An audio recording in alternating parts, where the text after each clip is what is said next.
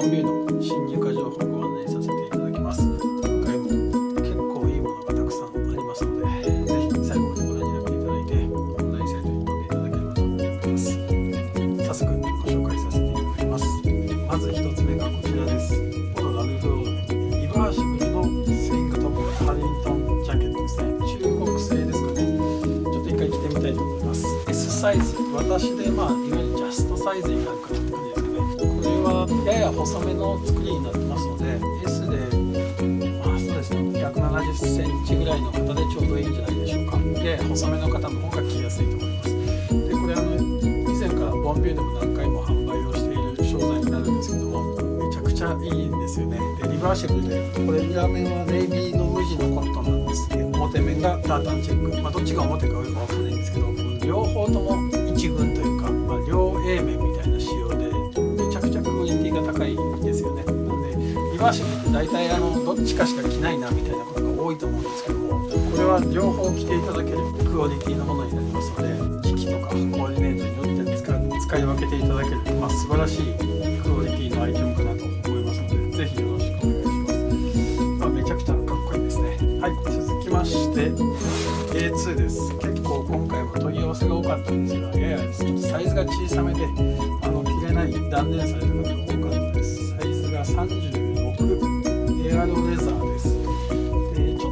今まで販売してたエアロレザーよりも少し値段が高いんですがと言いますのこれエアロレザーの今のロゴになる前のロゴがついてるタイプになりましてちょっと古いんですよね。でこの当時のものって革質もめちゃくちゃいいので、まあ、そういうこともありやや値段が高めになってますが物はめちゃくちゃいいです。あの使用感とか多少あるんですけどもあまりそういうのは気にならないアイテムの一つかなと A2 に関しては。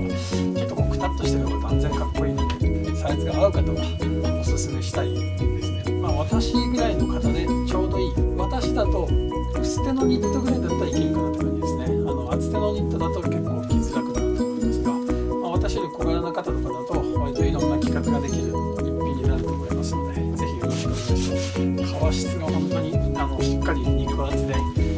あのでもちょっとこうやっぱりくたっとしたいい風合いになっておりますのでサイズが合う方はぜひおすすめしたい。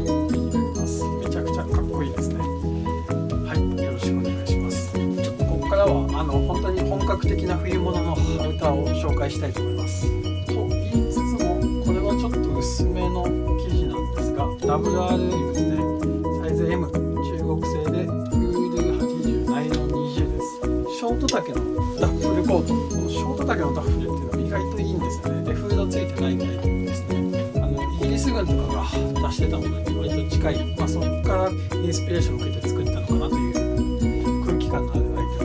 がいいんですブラウンの色でめちゃめちゃかっこいいと思います。これはこれで。いわゆるこうダフよりも生地がちょっと薄いのであの軽く羽織る分にはちょうどいいと思いますしあの重さも全くないこうさらっと羽織れるアウターだと思いますのでぜひよろしくお願いします。WRL も最近ちょっと見つかりづらくなってきましたね。状態はかなりいい状態になりますので、まあこの辺のシワはあのプレスで十分取っていただけますのでよろしくお願いします。はい続きましてグローバーオールです。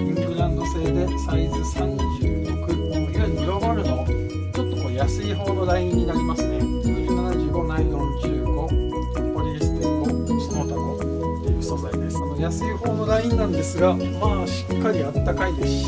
形もいいですしイングランド製ですし申し分のない着やすい一品かなと思います、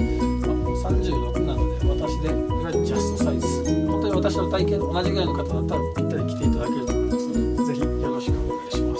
はい続きまして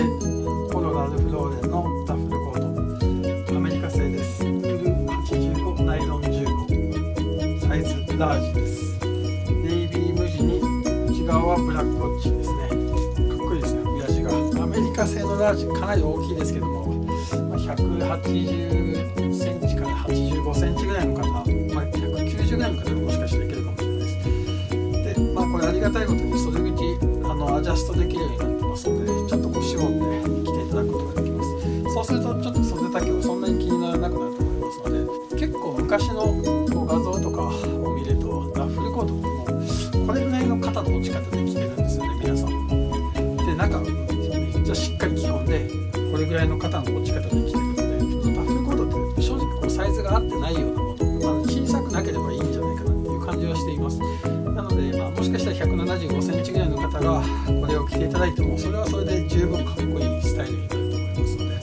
その辺りはお好みだと思いますが、まあ、ラルフ・ローレンのアメリカ製っていうところだけで、まあ、十分価値がある一着だと思いますので是非よろしくお願いします。状態もかなりいい状態になりますのでよろしくお願いいたします。かっこい。いですはいもう一つラルフ・ローレンです。ウール100の日本製になりますね。リンボーンのチェスターフィールドコート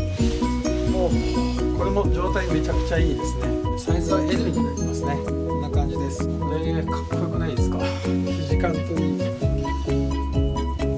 タープついてたりします。結構肉厚のウールなんですけど意外と軽いですね着てみると。あのラグダウンスリーブの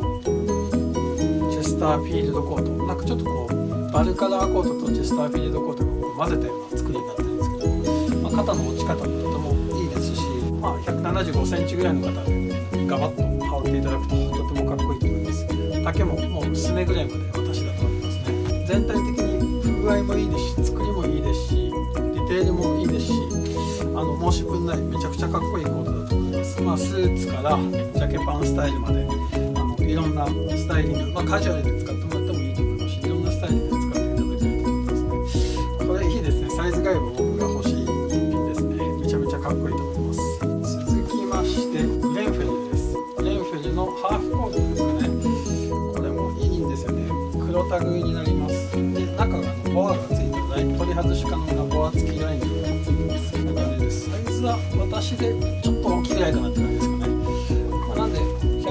5センチぐらいの方で着ていただけると思います。状態かなり良くてスペアボタンも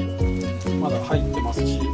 状態だと思います。ねかなり洒落たアイテムだと思いますのでぜひよろしくお願いします。コーデュロイの襟の切り替えの仕方もかっこいいですね。はいこんな感じになります。で最後です。ウィリスガイガーです。これは日本製ですね。サイズ M あの一時ガイガーアメリカ製ばっかりにこだわって入れてたん本製面白いなと思って結構日本製でもいいものがたくさんあってデザイン的に面白いものがかなりありますのでちょっと注力して CG を今頑張っているところです。で今回見つけたのがこのマウンテンパーカーですかね。ウールのライニングが取り外し可能なライニングがついていて袖裏はキルティングになってます。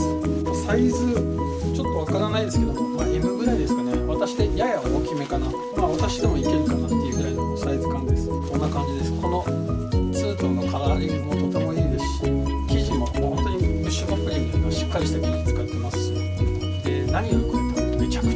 ですね風をそんなに通さない雨もある程度弾いてくれると思いますしさらに袖裏はキルティングボディ裏はウールライニングがついているのでまあめちゃくちゃいいですねで作りもあの、まあ、アメリカ製アメリカ製って言ってましたけどめちゃくちゃいい作りしてますかなりサイドにポケットありますしフロント大きいのありますし胸にもありますしあの結構申し分ない一品かなと思いますで日本製でもまあまあ仕入れ値がするので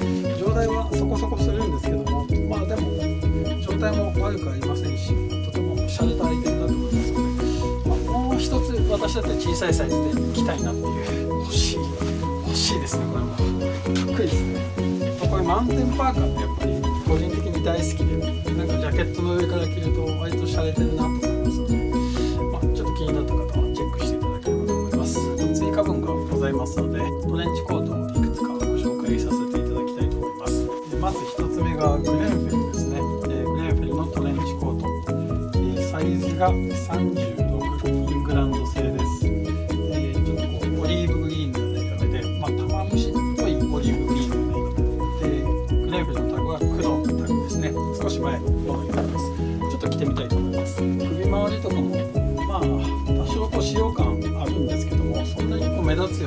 メージとか汚れは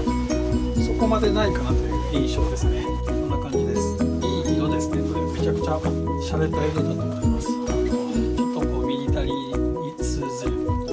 色目かなという感じがしますので割とこうネイビーとかグレーとか、まあ、ベージュとかブラウンとか相性がいい色だと思いますのでぜひご検討ください。あの着丈もちょっとたっぷりめの長い感じですね。えっとバランスはいいアイテムことがないタグがついてまして、まあ、どっかの別注なんだと思うんですけどもあの36なんですけどもやっぱり当時のものが割とこうたっぷりしてますので、まあ、今着ていただくにはいいバランスじゃないかなと思います。とてもかっこいいです。のでよろしくお願いします。続きましてバーバリーですね。こちらはイングランド製でコットン100です。サイズは46です。46レギュラー。シャツベストの上に着てやや大きめかなという感じですかね。さっきのグレーフェルも少し袖丈長かったんですけどもグレーフェルの方が少し小さめでこちらのバーバリーの方が、まあ、少し余裕があるかなとゆとりがあるかなという感じですね。丈も、まあ、こっちがちょっと短いかもしれないですね。こんな感じです。こちらのちょっと全体的に汚れとかございますがあバーバリーのコットン100っていうだけで少し希少性もあるんじゃないかなですね。ちょっと汚れがあったり首周りですね少しこうダメージ擦り切れてる部分がありますがまあ全然こうトレンチコートって少しこうクタッとして汚れがあるぐらいのがかっこいいんじゃないかなと思いますので着やすい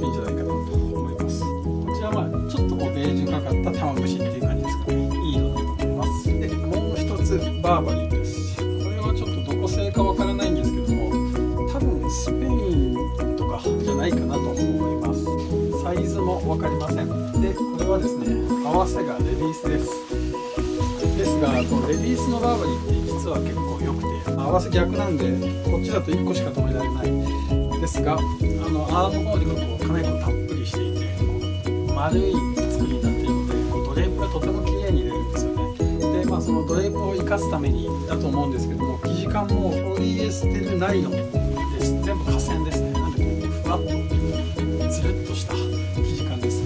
がちょっと何でしょうピーチスキンのような少しこう毛足のある生地感になってますのでまあそんなにこう化学繊維っぽい感じはありませんし、まあ、こうふわっとゆるっと着ていただけるととても洒落た一品じゃないかなと思います。まあこうメンズ合わせで着たいよっていう方も、ま、ボタンホールを追加してもらってもいいと思いますので、まあ、着方は自由だと思いますしあのサイズ感もかなり大きいゆったりしたサイズ感なので割と多くの方に着ていただける段的にも結構バーバリーとして買いやすい値段だと思いますのでぜひよろしくお願いします、まあ、このオフ白っていう色もいいですね。ちょっとパリな感じが